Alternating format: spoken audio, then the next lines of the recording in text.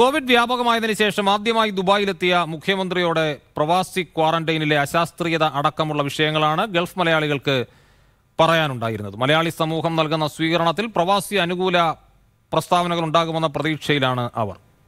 ഏഴ് ദിവസം വീട്ടിൽ താമസിക്കുന്നതിന്റെ വിഷയമോ ക്വാറന്റൈനിൽ പോകുന്നതിന്റെ വിഷയമോ മാത്രമല്ല എപ്പോഴൊക്കെ ഈ പാൻഡമിക് വ്യാപനം കൂടുന്നോ അപ്പോഴൊക്കെ ആദ്യമായി പ്രവാസികളുടെ മിക്കിട്ട് കയറുന്ന ഒരു സമീപനം ഈ സർക്കാർ സ്വീകരിക്കുകയാണ്. ഇത് ഏറ്റവും വലിയ ദുഃഖകരമായ കാര്യമാണ്. പ്രവാസികളുടെ ആത്മാഭിമാനത്തിന് ആഴത്തിൽ മുറിവേൽപ്പിക്കുന്ന ഒന്നാണ് ഇതെന്നാണ് എനിക്ക് പറയുവാനുള്ളത്. ഈ സർക്കാർ ഈ നടപടി തിരുത്തണം. ഗൾഫിൽ കോവിഡ് മരിച്ചവർക്കുള്ള നഷ്ടപരിഹാരത്തിന്റെ പട്ടികയിൽ പ്രവാസി കുടുംബങ്ങളെ ഉൾപ്പെടുത്താൻ കേന്ദ്രത്തിൽ സമ്മർദ്ദം ചെലുത്താൻ മുഖ്യമന്ത്രി തയ്യാറാവണം.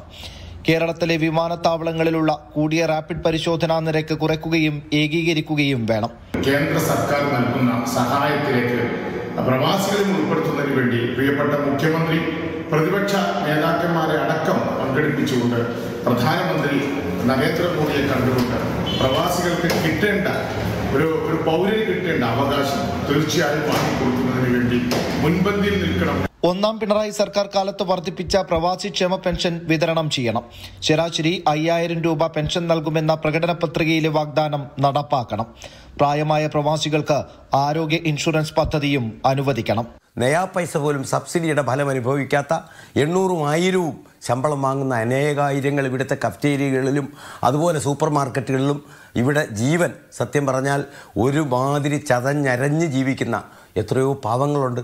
നോർക്കയുടെയും ലോക കേരള സഭയുടെയും പ്രവർത്തനം കൂടുതൽ സുതാര്യവും ഉപകാരപ്രദമാക്കാനും മുഖ്യമന്ത്രി മുൻകൈയെടുക്കണമെന്നും പ്രവാസികൾ ആവശ്യപ്പെടുന്നു. അടുത്ത മാസം അഞ്ചിന് ദുബായിൽ നോർക്കയുടെ നേതൃത്വത്തിൽ രാജ്യത്തെ മലയാളി സമൂഹം മുഖ്യമന്ത്രിക്ക് സ്വീകരണം നൽകുമ്പോൾ പ്രവാസി വിഷയത്തിൽ അനുകൂല പ്രസ്താവനകൾ ഉണ്ടാകുമെന്ന പ്രതീക്ഷയിലാണവർ. Arun Raghavan Asianet news Dubai.